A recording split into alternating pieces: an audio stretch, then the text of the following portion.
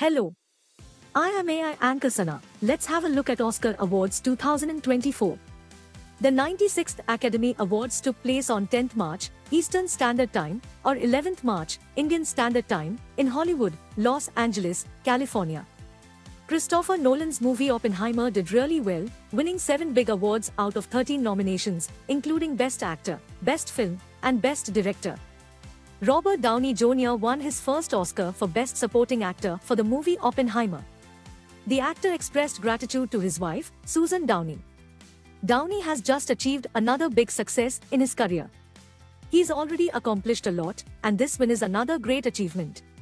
Because of his amazing talent and ability to do many different things, he keeps impressing people all around the world. Ryan Gosling gave a highly awaited performance at the Oscars, singing the song I'm Just Ken from the Barbie movie soundtrack.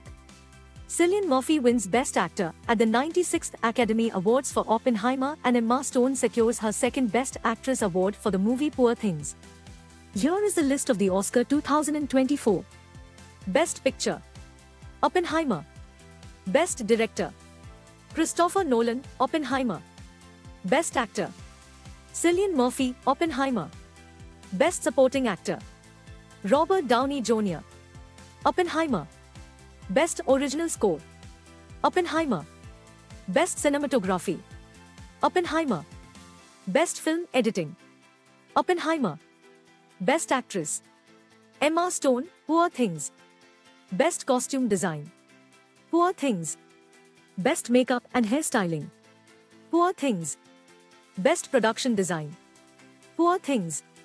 Best Supporting Actress. Da'Vine Joy Randolph, The Holdovers. Best Original Screenplay. Anatomy of a Fall.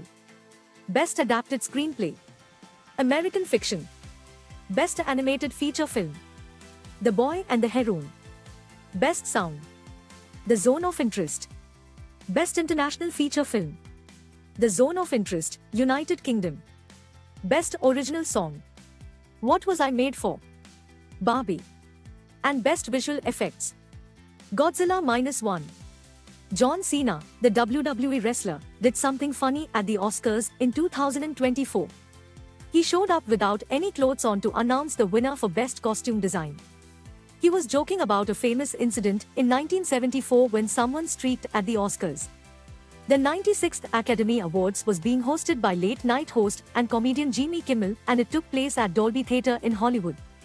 Do tell us what you think about this video in comments section and for more AI news updates subscribe to Aaj Tak AI.